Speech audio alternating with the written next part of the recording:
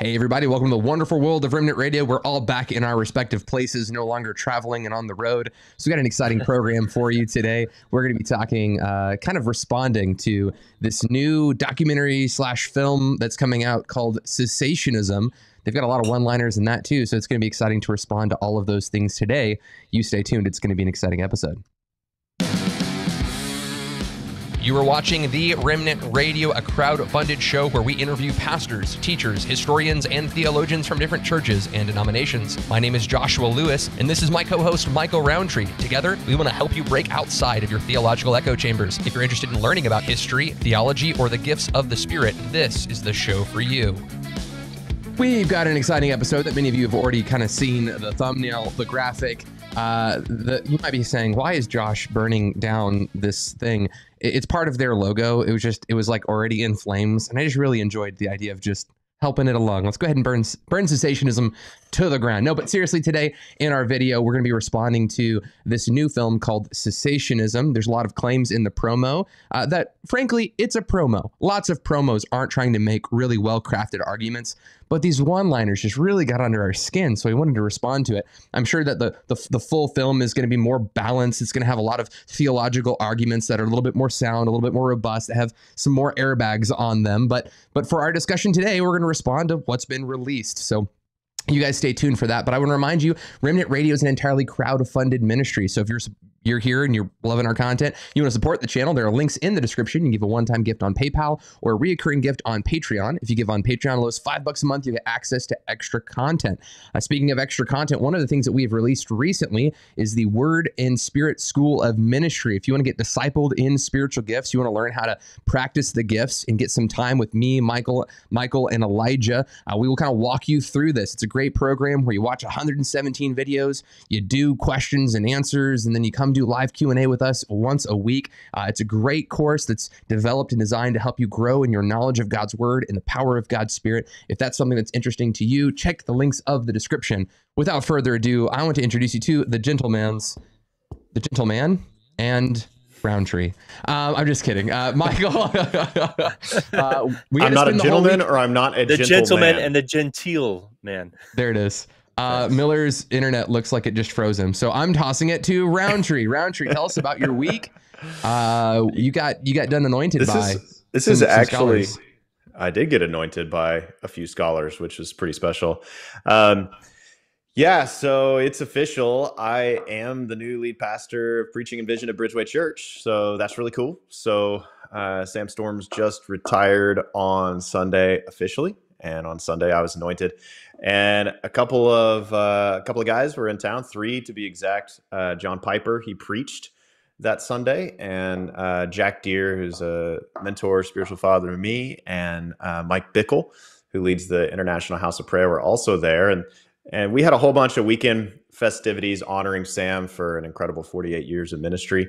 Uh, but uh, at the tail end of that, I I got anointed as the new new lead pastor, so. Um, felt really special and honored by the church, but also by the Lord to send us uh, those three guys, and then to be uh, stepping into this position. It's uh, yeah. It's you honor. said you said three guys, and I was really excited for you to bring up myself, Elijah Stevens, and Michael Miller. But then you were like uh, Piper Bickle and uh, you know Sam Storms, Jack Deere, and I was just like, ouch. Uh, deeply wounded. Uh, actually, note, Miller. Actually, I was, was really happy that you were there. I, I, mean, I got out of there as fast as I could Sunday morning, so I wouldn't have to endure. oh, anything. it's actually true. Yeah, Miller Miller was in town the whole week. We were filming. By the way, we were filming some awesome episodes. We got a, a series called Spooky Evangelism that's going to come out around October uh, once the Kansas City Prophets in. So we were all in town. Uh, we were doing that, and we were there for Sam also. And uh, but Miller had to head back to his church and preach and miss my whole anointing. Thanks, bro. That's really cool friend. Well, well, I wouldn't say have an anointing there, to miss an anointing. okay, you guys. All right, you guys. You guys want to jump into the content, or are we going to keep ripping each other? I don't know. I think Dude, mine was the best so far. Here, here's what's bad, Miller. Josh went to my former church, Wellspring Church, and he preached there, and he ribbed on me while I wasn't even there, like Yeah. behind my back to the church. Well played. My Well opening sir. line, And- and my you know what he did? opening he line as I preach was, "I have never seen this church so full. I cannot wait to tell Michael Rowntree that he had to leave before the church could grow." but you know what? It's actually a huge blessing, to be honest. I'm so glad that it's continuing to flourish. Amen. It's, Interpret uh, it a good any way you want to, Michael. Really, really the Lord. Yeah, that and I needed to leave. Thanks. Thanks for that. Uh, so let's talk about cessationism. So uh, where do we want to start this conversation out, fellas?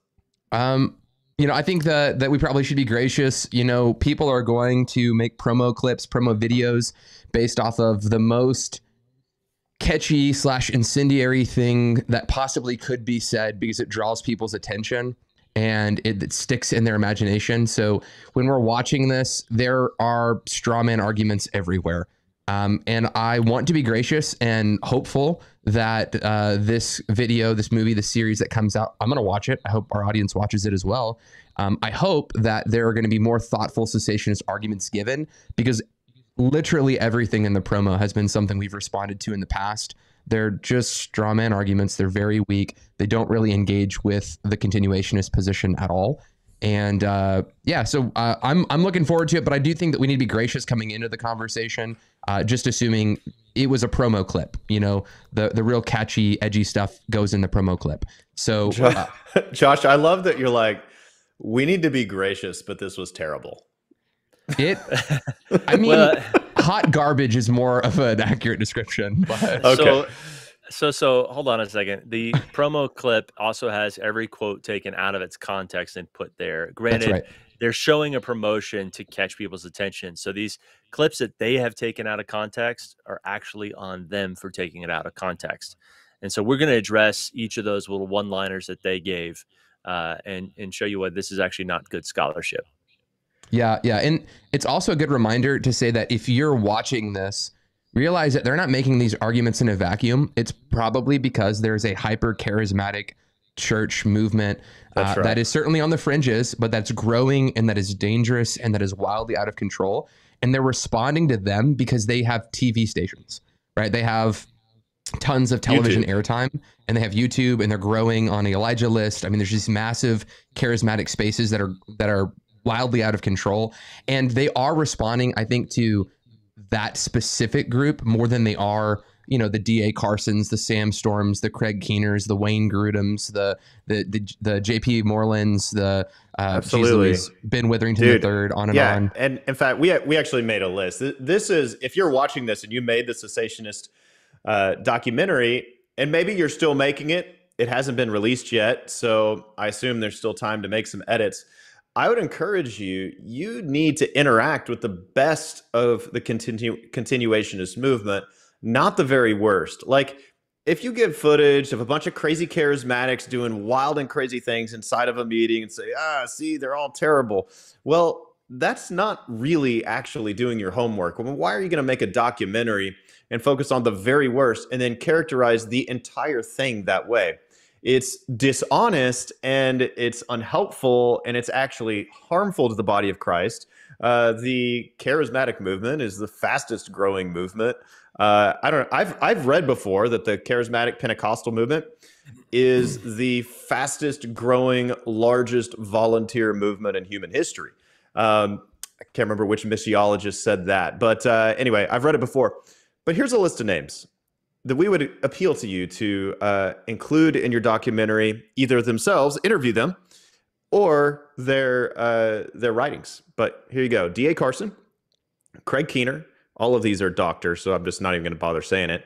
Uh, Jack Deere, Sam Storms, Ben Witherington, Amos Yong, R.T. Kendall, uh, Dr. Gordon Fee, uh, Wayne Grudem, David Instone-Brewer, N.T. Wright, Scot McKnight, J.P. Moreland. I mean, we could keep going uh, because the tide's kind of turned. Cessationism is actually dying.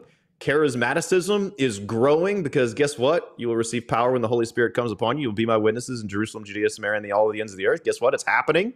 And uh, this is why the movement is growing so rapidly. And uh, nobody wants to go to church to hear about what God's not doing. And that's what cessationism does. So Yeah. uh, actually, in, engage with these scholars. and if you engage with their real arguments, then you know what we might say. Okay, this is this is actually a helpful corrective. Like, take Josh for instance. Uh, when you and I watched American Gospel, we were kind of like, you know, it's not like I agree with everything, but I kind of like the movie. It's got some good.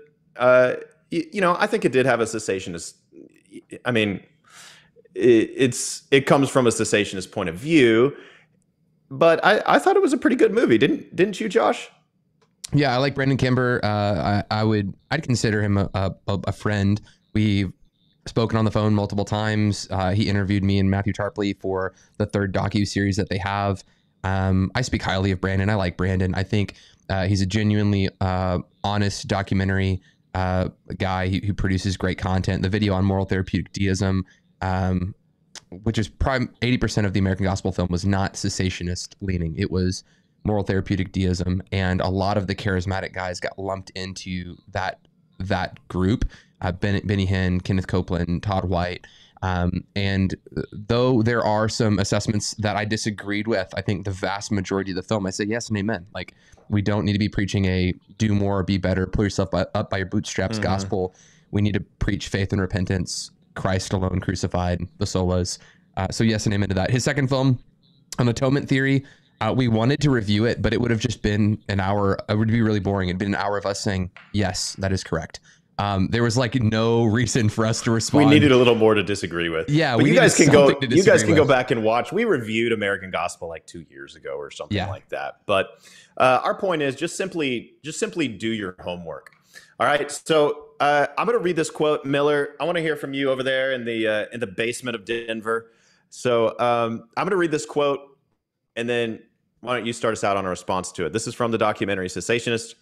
If someone has the miraculous gift of healing, surely all he needs to do is to prove it. But let's face it, we've oh, been wait, battling with Michael, COVID. do you want to watch the whole video? I yeah, have the video, yeah. Michael. And then yeah, we'll just respond to each of the quotes. Yeah, yeah, yeah. Yeah, okay. let's do that. Three, two, one, go. If somebody has the gift of miraculous healing, Surely all he needs to do is to prove it. But let's face it, we've been battling with COVID, and the so called miracle workers went into hiding together with us.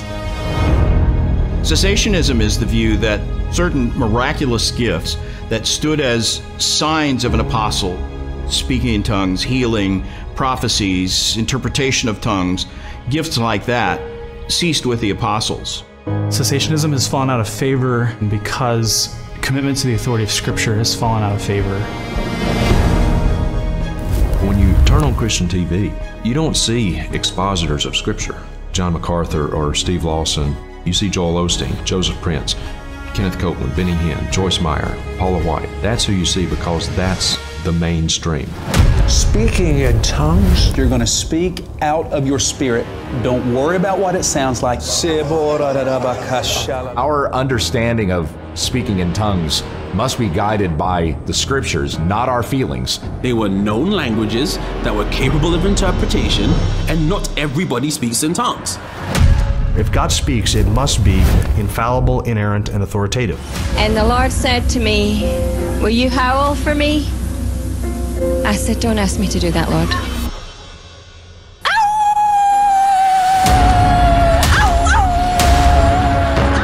There's no longer the need for the gift of prophecy, speaking forth divine revelation from God. We have now the whole counsel of God.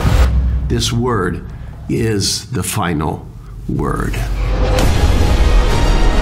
The apostolic gifts have gone. They were never intended for our generation.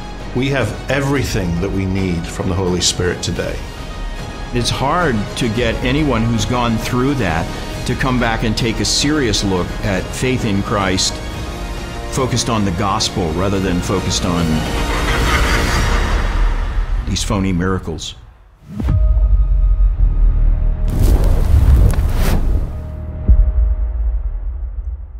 Well, that's the video for the Kickstarter. So you kind of know, okay, again, one liners, you've heard us if you've watched Remnant Radio for any extended period of time. almost all of those arguments we have engaged with very uh, intentionally. So, uh, Rowntree, I'll just toss it over to you. You wanted to engage with that first one. It's one that we did at the top of our last episode. So let's run through it pretty quickly.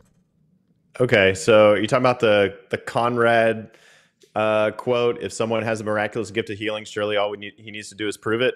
Yep, that's that, the one. Empty yeah, out that sure. hospital, Michael. Gosh, uh, cool. Well, I'm glad you weren't in Nazareth when Jesus went there. And Mark chapter six says Jesus could not do many miracles there because of their unbelief.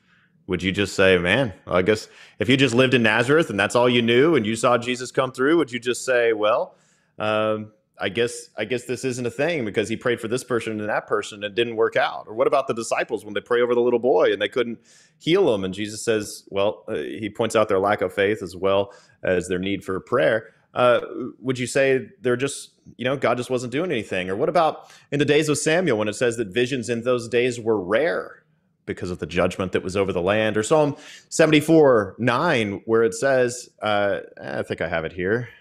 Well, I don't, but uh, anyway, just, Psalm 74 9, it says, you know, we have no signs, we have no prophets, none of us knows how long this will be. And in these cases, uh, specifically Psalm 74, as well as 1 Samuel 3, there was a judgment over the land, and that actually caused there to be a diminishing of the number of signs, wonders, miracles, and those kinds of phenomena. Uh, I would look at gosh there's there's so much going on here i mean if we look at the church of the west if we look at specifically the church in america um, I think America is under judgment, and Romans chapter one makes that clear. The wrath of God is revealed from heaven against all ungodliness and unrighteousness of men who suppress the truth in unrighteousness. And and he goes on. He talks about God handing us over to our sins, so that our in our morality we're you know given to sexual insanity and homosexuality and celebrating. And well, that's exactly what's happening in our nation, aka America's under judgment. That's what Romans chapter one is telling us. And so if if we look at America, this this land uh, that is experiencing the wrath of God being handed over to our moral insanity. And we say, well, there's not enough signs and wonders here for me to believe. I'm like, well, um, have you traveled the world a little bit? I haven't talked to a missionary that hadn't seen signs and wonders on a massive scale. Well, I won't say massive scale, but I, I haven't I haven't talked to one who hadn't seen them. Are you going to talk to the 40% of Muslims who are having dreams and coming to Jesus as a result of the dreams? Are you going to be about like the cessationist I know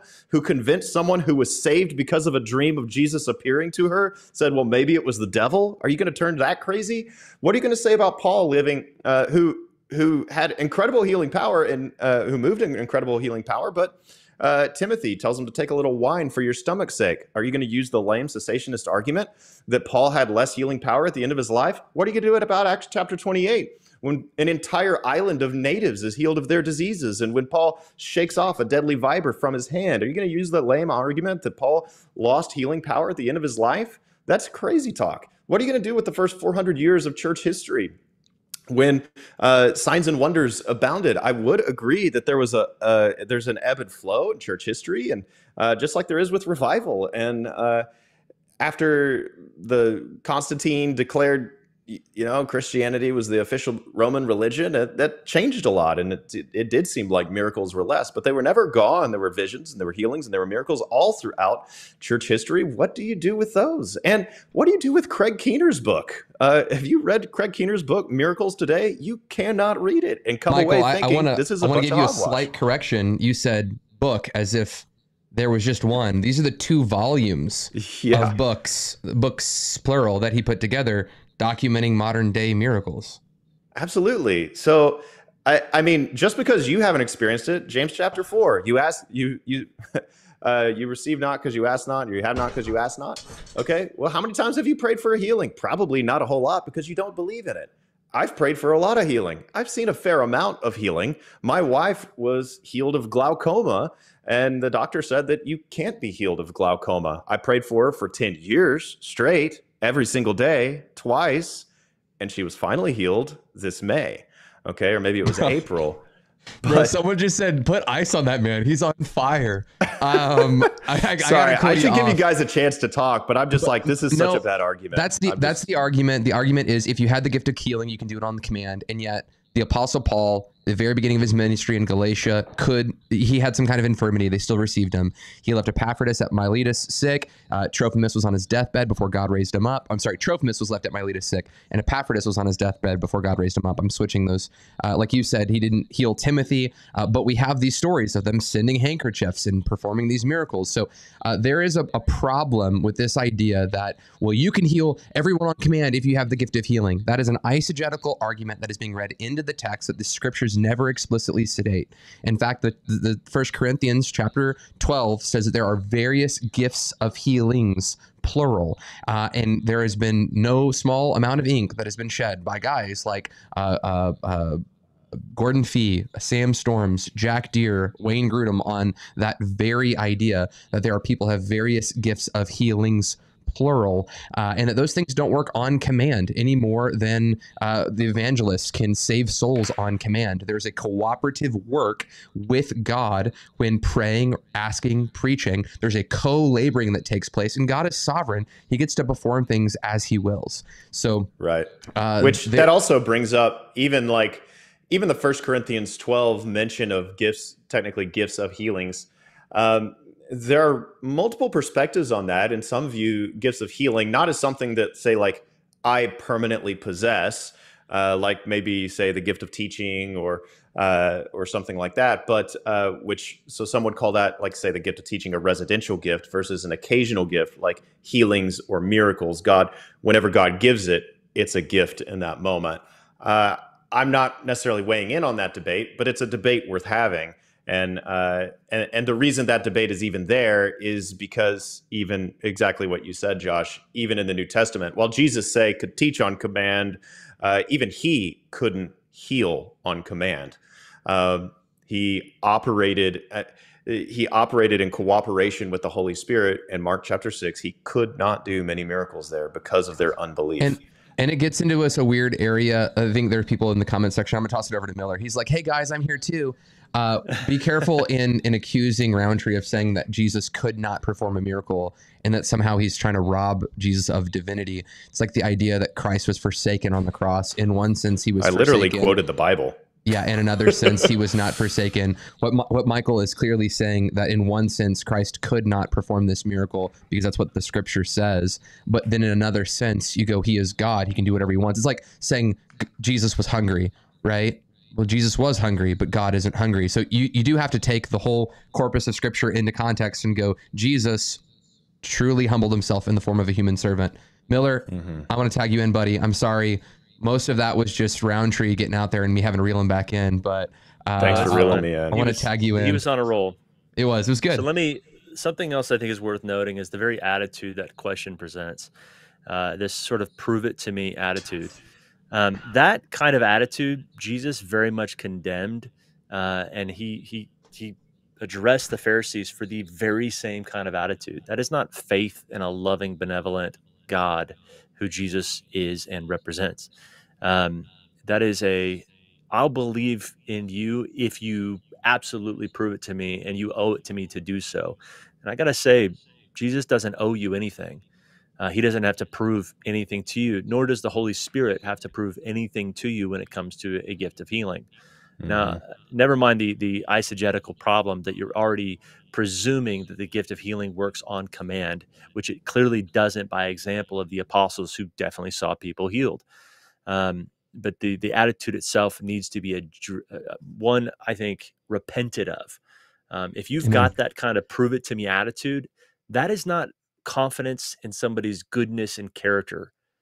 Um, that is pride at its very core, and uh, I think that that's um, I don't know. I, I, I think that's probably where a lot of people are coming from with those kind of things. We had somebody in the comment section last week on the video saying, "If you've got the gift of healing, then come to this children's hospital and pray." And it's like, first off, nobody owes you anything, and nobody needs to prove anything to you. However, I would be glad to do that. Fly me out there if I have open reign to pray for people in a hospital, I'm in. I Amen. would love that. Yeah. Okay, guys, let's do that. Let's go to this next one. And uh, when Michael when Miller is saying, "Take me to the hospital," the the claim is not, "I will heal every person I pray for." The claim is that I trust God, I believe God, and I want to pray for the sick, and I believe God heals the sick. I, not that he can force God to heal every person Right. he prays for. And I think it's really important because what happened is there are guys out there like Benny Hinn and Kenneth Copeland who have really pushed a word of faith heresy that we can manipulate God, we can control what we wanted, uh, we can control God by the, the power of our speech. And if we have just enough faith, we can muster up a psychological certainty where our our very will makes things come to pass. Um, that uh, is not the heart of a created creature at all. It certainly wasn't the heart of the apostles, um, and, and it is a absolutely false and wrong approach to the gift of healing. Um, so we are coming at this from careful continuation as saying that is too far. Don't believe that and go there. These cessationists kind of come out saying that all charismatics believe that, which I would say that's actually the, the vast minority of charismatics believe that. The, the vast majority of us have a theology of suffering that certainly needs to be fleshed out. Uh, and there's a there's a growing resurgence of careful continuationism that we want to push on. Uh, someone want to engage with Phil Johnson's quote, uh, Rowntree. I know you had some a passage there that you wanted to engage with. Oh, sure. Uh, here's a quote. He says, so this is Phil Johnson. Cessationism, cessationism is the view that certain miraculous gifts that stood as signs of an apostle, speaking in tongues, healing, prophecies, interpretation of tongues, gifts like that ceased with the apostles. Okay, well, I mean, that's fine. He's just stating what cessationism is. Uh, but this is this even this idea when he talks about signs of an apostle, he's referring to Second Corinthians chapter 12. And uh, I'll read it to you in the NIV and the ESV, both, and you'll kind of see a little bit of the difference. Uh, NIV says, I persevered in demonstrating among you the marks of a true apostle, including signs, wonders, and miracles. So the NIV sounds like, uh, based on its uh, based on its translation with this word including, sounds like signs, wonders, and miracles. These are part of the signs of an apostle. Hey, if you're an apostle, you do signs and wonders. And okay, so let, let's imagine that's what it says, but but would that really point to what a true apostle is if that's what it means? Because lots of non-apostles also did signs and wonders. Uh, philip does signs and wonders. Stephen does signs and wonders. I mean we go on down to the book of acts. We see people doing signs and wonders all the time. Um, and also in context if you go back and read it it's not talking about uh, apostles versus other christians. It's talking about true apostles versus false apostles. And uh, so I like the ESV's rendering here better. It says, The signs of a true apostle were performed among you with utmost patience, with signs and wonders and mighty works. And so the the point there is that uh, is that like whatever those signs of an apostle were, they're accompanied by signs and wonders. The point is not that the signs of an apostle are specifically signs and wonders. Amen. And uh, and to Phil Johnson's point here, and let me just read again: certain miraculous gifts that stood as signs of apostle, like speaking in tongues and interpretation of tongues, healing and prophecies, gifts like that. Where do we come up with a category of gifts like that? Where does the Bible say gifts like that? How do we decide? Well, just stuff that's super miracle-y like, you know, like well, the Bible doesn't actually categorize so-called sign gifts versus non-sign gifts. That's nowhere in the Bible. So uh, the Bible just has gifts of the Holy Spirit. In fact, every gift of the Holy Spirit, 1 Corinthians 12, is a manifestation of the Spirit. So uh, it's it's just a, a categorization that I I disagree with, and uh, and I would say that the gifts of the Holy Spirit are not to authenticate apostles. There is no unambiguous text in the New Testament that says signs and wonders existed to make sure that the apostles were trustworthy teachers of doctrine. And now that those 12 apostles are gone, we don't need signs and wonders now.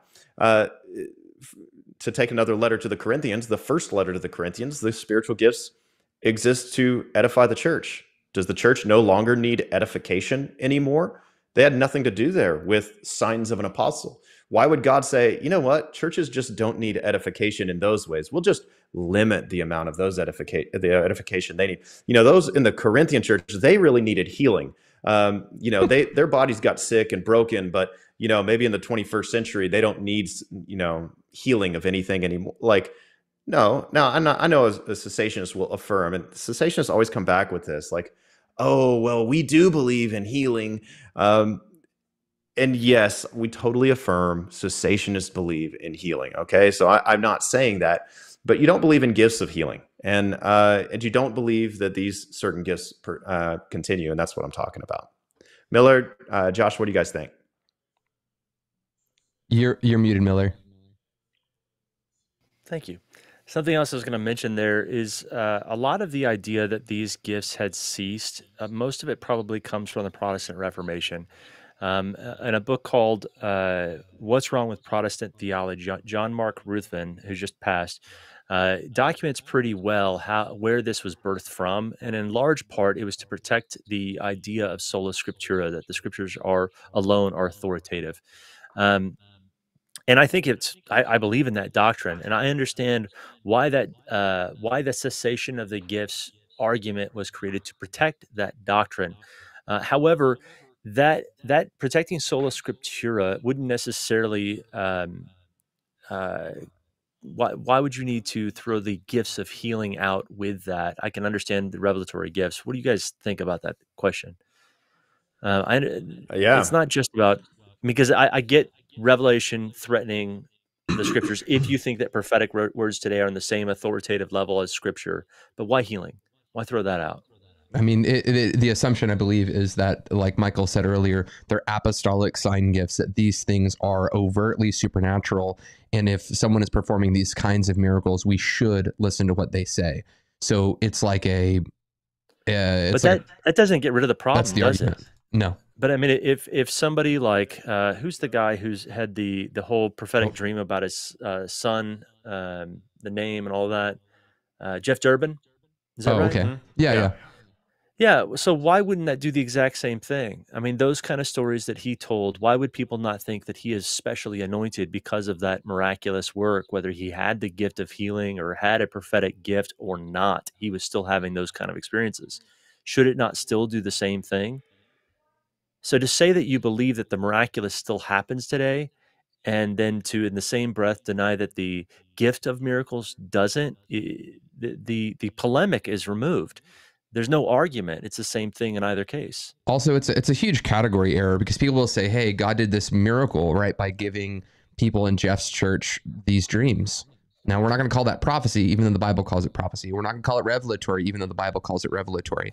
And when his son came out healed, we're not going to call that the gift of healing. We're going to call that a miracle. So now we've called prophecies healing. We've called uh, uh, healing, um, or sorry, we- called prophecy a miracle. We've called healing a miracle, all because we have imposed upon the text of Scripture our categories that prevent us from believing that God heals and prophesies today. We're so Yeah. we're so committed to minimalizing the supernatural power of God in our midst. Even when God performs supernatural miracles in our midst, we have to deny that they are what the Bible calls them in order to maintain our cessationism. And I, I don't think that that's a, a healthy way of approaching things. Because if you guys haven't heard the story, uh, there was a child who was going to be aborted. The the wonderful ministry at Apologia Church, Brothers in Christ, are out there trying to save these babies, and they convince a mom not to abort their child. And in uh, uh, this situation, they're like, hey, we will adopt this baby. The church gets together and prays, you know, Lord, who is going to adopt this kid? Um, uh, Jeff thinks maybe this is our kid. Uh, his wife said something like, well, if we adopted him, we would probably name him Augustine. And then he said, yep, Augustine, we'd probably call him August. And then people from the church started coming to them saying, I think this is your kid, and I think his name is August. Like God is speaking to people through dreams in this church. This 1689 cessationist church, which again, I'm not trying to minimize. Oh, they have no faith because they're cessationists, dude. They're out there doing the work, preaching the gospel. They're faithful witnesses. I, I'm by no means minimizing what God is doing, and in fact, I want to encourage. Look, they're out there doing the work, and God is supplying power to accomplish His mission by saving these children through a super. You want to call it miracles all day? Go for it. Like, uh, just don't don't ignore what God is doing. But I do think that those category errors are created so that the masses don't pursue prophecy. Uh, which the Bible commands us to do, and they they call us not to pursue gifts of healing, which the Bible commands us to do. Earnestly Right. desire spiritual gifts, especially to prophesy. I think the the scripture that they're going to use that they're going to go to is Ephesians 2:20 and Tom Schreiner calls this the I mean uh, it, I can't remember his exact language but it's it's basically the literal foundation of cessationism which ironically is a foundation Ephesians 2:20 that the uh, that the foundation of the temple which is the church that the that the temple is built upon the apostles and the prophets. And so Paul's, you know, talk uh, talking through this this sort of language, how the church is the typological fulfillment of the Old Testament temple. Uh, and so we're sort of the stones in the temple, but the Christ is the cornerstone, but the foundation is the apostles and prophets. So the idea is, well, you needed apostles and prophets who were these, you know, miracle workers and seeing dreams and visions and, and doing all this healing. Okay, let's forget it that there were a whole lot of visions and a whole lot of healings that came from people who weren't apostles or prophets. But anyway, forget about all that. But these apostles and prophets, they were the foundation. But now that we have the foundation built, we don't need the stuff anymore. And so that's going to be how they argue. Like the church just kind of needed a good kickstart back in the day. But if you read that verse in context, it'll continue on into Ephesians 3 5. And uh, and the apostle Paul will will talk about uh, he'll, he'll return to the this language of apostles and prophets. And what's significant about them is that it was to the apostles and prophets. It's not just any prophecy they ever gave, uh, but the apostles and prophets were used to receive this mystery that had been previously hidden in all generations, but is now revealed. Well, what is that mystery? It's the mystery that the Gentiles are fully included within the people of God, that they're not like proselytes coming in and sort of like becoming Jewish, which is how the Jewish people imagined it, that God was doing this whole new thing and creating what he calls in Ephesians 2, I think it's verse 15, the new man, Jew and Gentile together as the body of Christ. And so this is the foundation and, and, and that the apostles and prophets revealed. And that foundation doesn't need to be repeated. That revelation has been brought. But this has nothing to do with like miracles and signs and wonders and every revelation ever being part of that foundation. Uh, that that's uh, actually absurdity in my mind, and uh, and it violates the gr- grammatical historical uh, interpretation uh, hermeneutic for understanding the Bible because there's no way there you cannot tell me there is no way the apostle Paul is trying to teach in Ephesians chapter 220 if we want to get into the intention of the author. There's no way he's trying to teach like hey guys the gifts are going to cease here real soon so be paying attention. Like you have to actually pay attention. This this is what awesome cessationists have taught us like and I, and I actually mean that sincerely like they're, they're teaching us the grammatical historical rec, uh, uh, hermeneutic. They're they're teaching like that they've filled our seminaries uh, throughout the 20th century and into today. Like they've taught us great hermeneutics in lots of ways, but then they violate what they've taught us when they teach here that Paul's trying to teach cessationism. That's an importation. There's no way he's qu- trying to teach cessationism. We're on quote two of eleven, so we need to keep moving through this list. Uh, I want to I want to push through this one. Round, uh, Miller cessationists have fallen out of favor uh, because the commitment to the authority of scripture, scripture has fallen out of favor by Andy Woodward. What, what do you think about that uh, that statement there, Miller? That's that is. I'll be honest. There is not a single quote in this entire video that bothers me more than that one. But give me your give me your take, Miller. Uh, well, prove it. Uh, I mean, again, it, you made a claim here that Scripture has fallen out of uh, has been uh, the authority of Scripture has fallen out of favor. Um, okay, with who? uh, with the continuationist um, because I don't see that happening. Um, no, I mean, don't get me wrong. I think there are there is a a failure to teach the scriptures expositorily in many charismatic churches, for sure. Um, but I think that's always been the case. And if anything, I think people are actually far more uh, serious about the scriptures than they were 700, 800 years ago. And God was doing miracles back then too. There's lots of recorded miracles. So, how is it any more so true today that the scriptures have fallen out of favor? Um, again, I, I'm thinking of the fact that we had a world that was largely illiterate and couldn't read the Bible. We didn't have the Gutenberg press. Suddenly, the Protestant Reformation changed all of that. And I would say the scriptures are actually much more valued today than they were back then. Um, but I don't see less miracles, though. And I don't know how you prove that. If anything, I think Craig Keener has done a good job of documenting that we're seeing tons of the miraculous around the world and the gifts of healing, not less of them. So yeah. I, I just don't know where he's, how he's validating that proposition. Like there's no, uh, granted, we only got a little snippet there in that uh, preview. And so I would be interested to watch the rest of the documentary. But I would say Andy Woodward uh, show me the proof there that that that that claim is not uh, accurate. In the same way that charismatics have weaponized the gifts of the Spirit now to you know empower bad leadership and don't touch the the Lord's anointed. Um, it was doing that same thing during the Protestant Reformation. Roman Catholics were making these arguments like, "Hey, we're performing miracles and signs by these relics." Many of them, many of them were fabricated and false. And the the the Protestant Reformation responded by saying cessationism uh, starting with John Calvin, moving into Middleton, and then to B.B. Warfield, uh, they made the case. Those are like the three waves of cessationism, if you will. But realize that cessationism um, is a relatively new invention. It's a relatively new doctrine, and it was a responding doctrine to the hyper charismatic space. Cessationism exists not because of sola scriptura. Cessationism exists because of hyper charismatics. And yeah, um, Go ahead, Rowntree. Uh, I was going to say, uh, far from cessationism has fallen out of favor because commitment to authority of Scripture has fallen out of favor.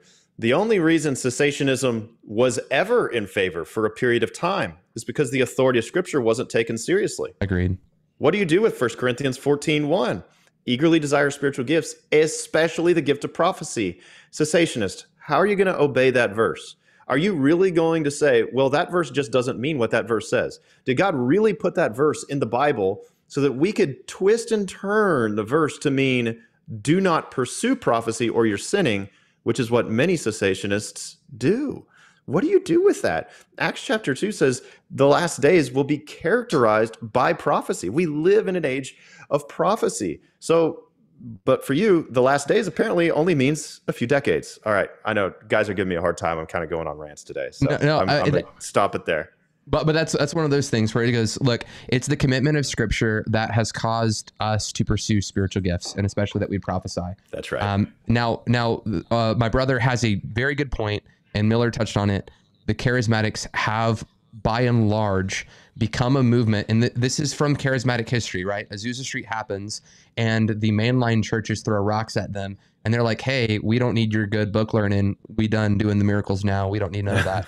so we kind of created our own anti intellectual movement. But again, That's true. Since, since recently, um, I, I would say look at the former presidents of the Evangelical Theological Society. You've got guys like D.A. Carson and Sam Storms. You've got guys like uh, uh, uh, you know Wayne Grudem, Wayne Grudem. You know, you've got Piper. You've got all these guys out there who ag- agree. Again, you, you're going to disagree with all of them on some kind of theological issue somewhere. But but we have an army of biblically serious, sound theologians. The vast majority of seminaries right now staff both cessationist and continuationist. The, the idea that we're not biblically serious, I think, is a fallacious argument. Um, by and large, but I will give you, I will say that does rightly apply to the hypercharismatic movement. Um, I'll agree with that. Okay, well, let's at least in comparison one. to the continuationist movement, yes. Yeah, yeah, yeah. Hey, Miller, you want to read that next quote? Sure. Number four. Uh, let me pull it up real quick. Okay. Uh, this is by Justin Peters. When you turn on Christian TV, you do not see expositors of Scripture John MacArthur or Steve Lawson. You see Joel Osteen, Joseph Prince, Kenneth Copeland, Benny Hinn, Joyce Meyer, Paula White, and that's you see because that is mainstream. What do you think? I mean, I got thoughts. Rowntree, you got thoughts, man? Uh, I do, but why don't you go, Josh? Because you worked in TV for a while.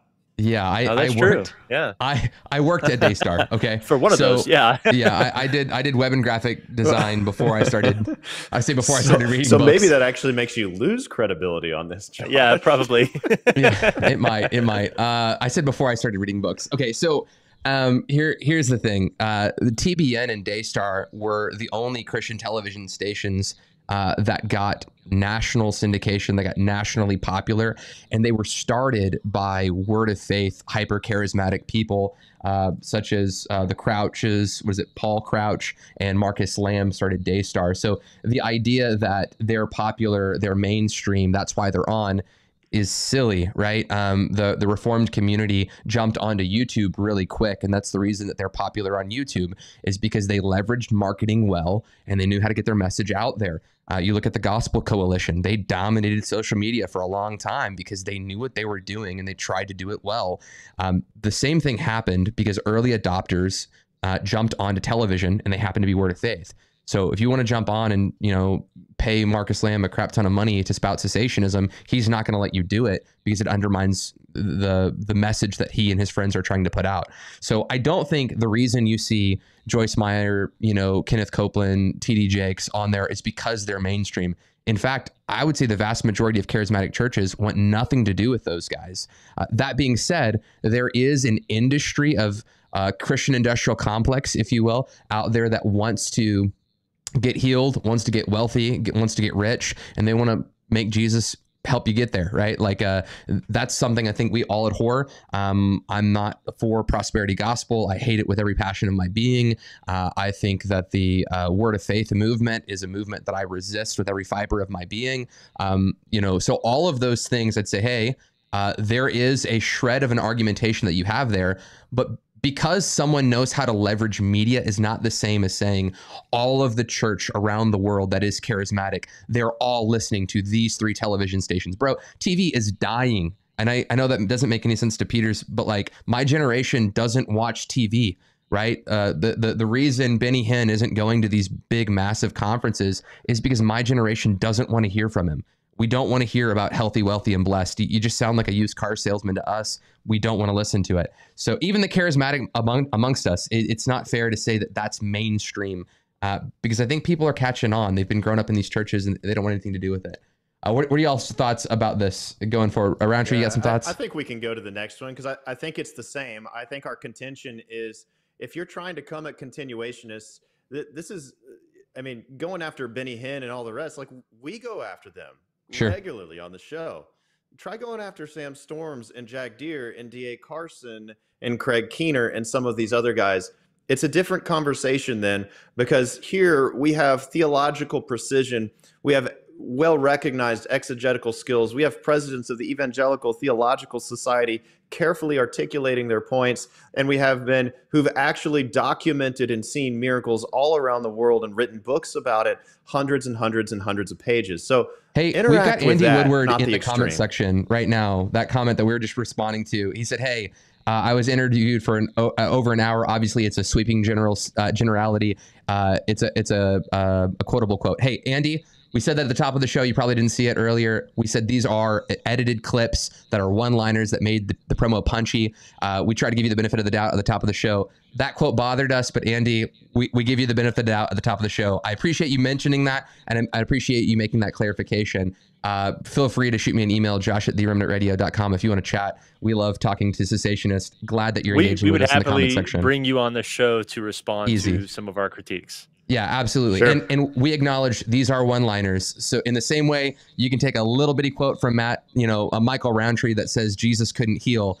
You know, you could take that quote and be like, look, Michael Rowntree's a heretic. Um, you know, if you want to spin it a certain way. And, so, and I mean, again, that's what I like to I do. literally quoted Mark 6. Yeah. That's what I quoted. yeah. I know. I know. But there's still Michael, people who want to. Why are you denying the deity of Jesus? Jeez, Michael. Oh, my gosh. You know, he is God, Michael. He you can't say he can't anything. Okay, so but but this is that same point that but you just you know mentioned what? a second Matthew ago. Thirteen says he would not. Anyway, I'll leave it at that. Go for it. so so it, this this the fourth one that we talked about, Justin Peters just now. Also realize that the Sam Storms, the Craig Keeners, the JI Pack, the the the, the JI Packers, they're not on TBN either. They're not on on Daystar either. So it's not like only charismatics. These are the only charismatics we have. It's that they're only platforming those kinds of charismatics. So I think that's an important thing as well. Okay, so uh, question or question quote number five our understanding of speaking tongues must be guided by the scriptures, not our feelings. That's Gabriel amen. Hughes. We all say amen to that. Then there's another quote by someone else. We'll tackle both of these at the same time.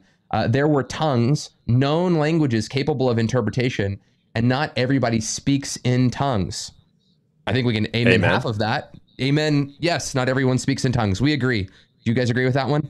I agree. Yeah, First Corinthians chapter 12. So again, this is this is coming at it. Now, I I can't crawl into his head and understand precisely what he's trying to say, but like, um, it seems like he might not be aware that not every charismatic thinks the same on this. Agreed. There are those of more the Pentecostal tradition that see the baptism of the Holy Spirit as subsequent con- to conversion, sometimes called second blessing theology. Like you later have an experience with the Holy Spirit where you're empowered and sanctified and all of these things. And the initial physical evidence of speaking in tongues that every believer can have is what issues forth from that. That's kind of one theology. The other side, sometimes called third wave, which would be everybody on this show, would be that we're all baptized in the Holy Spirit at the moment of conversion. 1 Corinthians 12, 13. We were all baptized in one spirit into the body of Christ. So the baptism of the Spirit happens at the moment of conversion.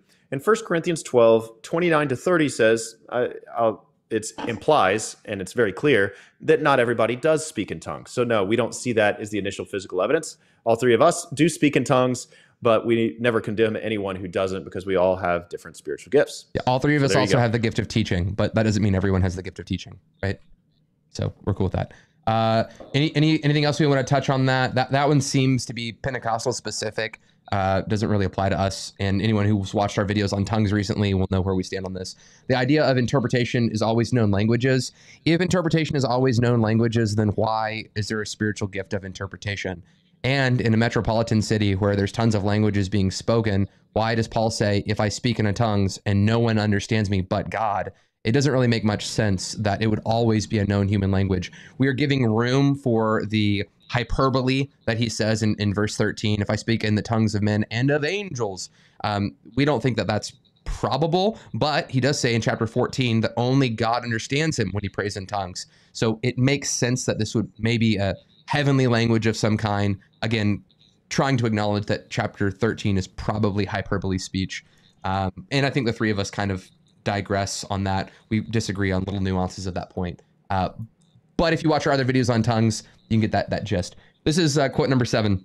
I'll get you guys to respond to this. If God speaks, it must be infallible, inerrant, and authoritative. Jim Osman. Anybody wants to respond to Jim? Sorry, I've been responding hey. in the chat section. I Amen. Lost You're all Amen. getting distracted. Yeah. yeah if God yeah. speaks, God doesn't lie. God doesn't make mistakes. We believe the, in the inerrant and the authoritative and the all sufficient word of God, the scripture. And the scripture always trumps any sort of prophetic revelation, which is why Paul says in 1 Corinthians 14 37, if anyone is a prophet or thinks he is a prophet, let him acknowledge that what I'm saying to him is the Lord's command. The apostolic command trumps the so-called prophetic revelation. So uh, we're actually in agreement with this, but I think where the the quote by Jim Osman is really trying to get at when he says, "If God speaks, it must be infallible and inerrant and inerrant and authoritative." What he's trying to say is that when you speak prophetically for God, that you, if you're a true prophet, will always get it right and and that's where we would have a disagreement. We would say the revelation from god is always 100% accurate but it can get muddled. And a good new testament example of this is acts 21 verse 4 where some people speak quote through the spirit telling paul not to go to jerusalem where Paul has in Acts 19 resolved in the Spirit to go to Jerusalem. And in Acts 20, the Spirit has compelled him or constrained him to go to Jerusalem. Luke makes it clear that the Spirit has directed Paul to go to Jerusalem, and yet through the Spirit, uh, other prophetic people have said, don't go to Jerusalem. So who's right? Well, we have the, the repetition of the Acts 19 and 20 suggests that Paul was actually right. And at the end of the passage, they conclude, the Lord's will be done. And so it seems that through the Spirit, they told Paul not to go to Jerusalem, must mean that the the revelation itself did come from God, but they, as messengers, imperfectly related it, probably let their emotions get in the way. Um, that's one example. We could give more examples and have given many on the show, uh, but but we believe there's evidence in the New Testament, both narrative as well as uh, in the epistles, uh, that true prophets could miss a prophecy without being labeled as a false prophet. Yeah, and if you're out there and you've made this movie Cessationist and you're like, hey, I want to engage the best charismatic arguments on the Sam Storms and Understanding Spiritual Gifts uh, and Beginner's Guide to Prophecy, he addresses this. Wayne Grudem, uh, sorry, D.A. Carson in Showing the Spirit talks about how the contents of the prophetic word are being weighed, not the prophet themselves. Also, Wayne Grudem makes that case in The Gift of Prophecy in the New Testament page 59, 61, and 69. Uh, Dr. Craig Keener responds to this in Gift and Giver. John Piper responds to this in a sermon in 2007 that I have to send you, but you have to email me for that. Uh, Andrew Wilson has an article on um, Sam Storm's blog.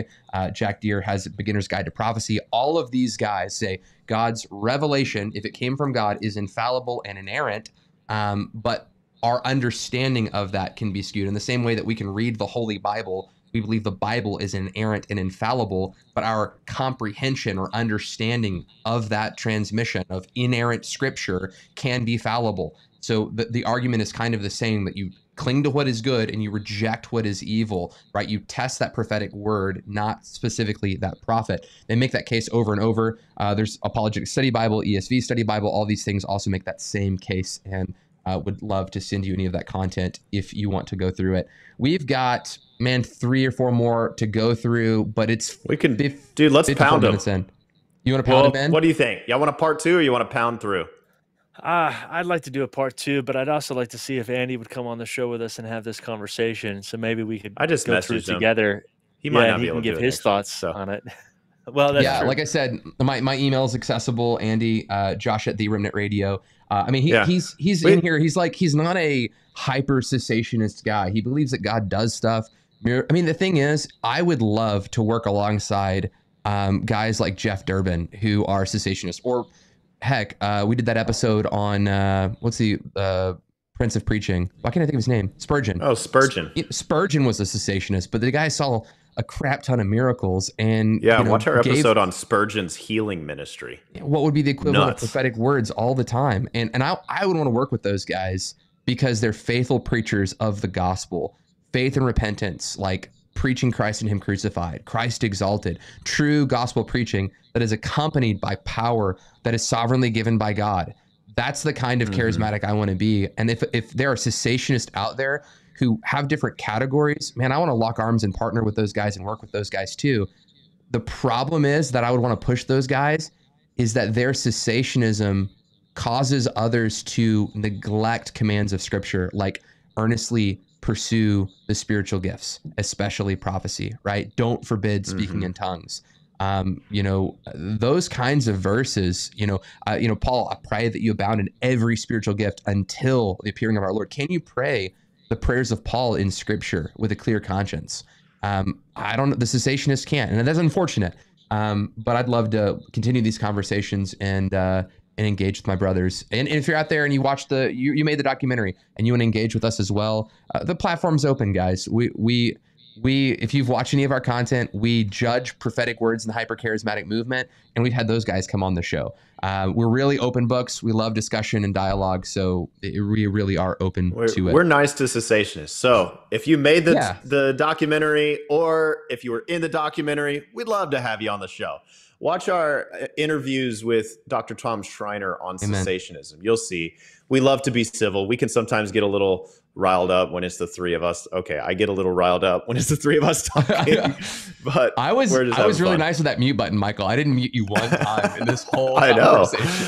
Uh, awesome. I I say let's save the last four for next week. Let's do a part two. Okay. So- blessings, guys. Be blessed and highly flavored.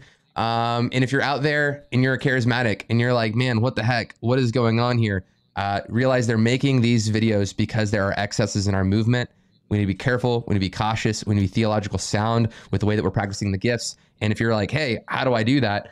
I'd encourage you to check out the link in the description for the Word and Spirit School of Ministry. We have a training program where we're talking about the spiritual gifts, the gift of healing, the gift of prophecy, tongues, interpretation of tongues, discernment, building a relationship with God, how the new age is trying to creep into the charismatic movement. We have to identify it, reject it. You know, uh, we, we do 117 videos. You watch a couple videos, you uh, answer some questions, do some homework. You break out into live Q and A with your instructors. Uh, then we we gr- break out into uh, small groups to discuss and practice what we've just talked about. Uh, it's an in-depth, charismatic discipleship program. So if you're out there and you're like, "Hey, I want to grow in my knowledge of God's word and the power of God's Spirit," check out the link in the description. Uh, they're going like hotcakes, Michael. Going like hotcakes. And Going like I- hotcakes. I always wanna say, 117 videos, dude. I can't believe we filmed that much, dude. That was some crazy filming. Every time I tell someone it's 117 videos, they're like, "What?" There's never been Yeah. a course online that's 117 videos. That's so ambitious. Yeah. Yeah. It's good. It'll edge, it'll educate you. Yeah, you get So, that good that guys, good Burke check out that part two next week, and uh, and guys, Wednesday is our Gifts of the Spirit show, uh, but we also do. I mean, Mondays is is just theology. Sometimes it's gifts, but it's usually something a little different. I can't even remember what we have this Monday. Josh, do you remember what we have coming up? Uh, well, this Monday we'll probably air because it's it's uh, Labor Day. We're probably going to air the video that I filmed on old Earth creationism with Dr. Ken Keathley. Uh, Oh, yeah. Ra- Miller, that's an episode that you're going to want to watch. He talks a lot about the worldview of the people writing scripture and if their cosmology was different than ours, how are we to understand? Oh, I definitely You- you- want to I promise that. you, that's your episode, man. We we talked about this a lot last week, so this would be a good episode. And he holds to inerrancy, so you'll you'll you'll very much like that episode. Um, Okay. Yeah. Anyway, yeah. All right. Okay, guys. Cool, guys. Blessings. See you next time. Bye, guys.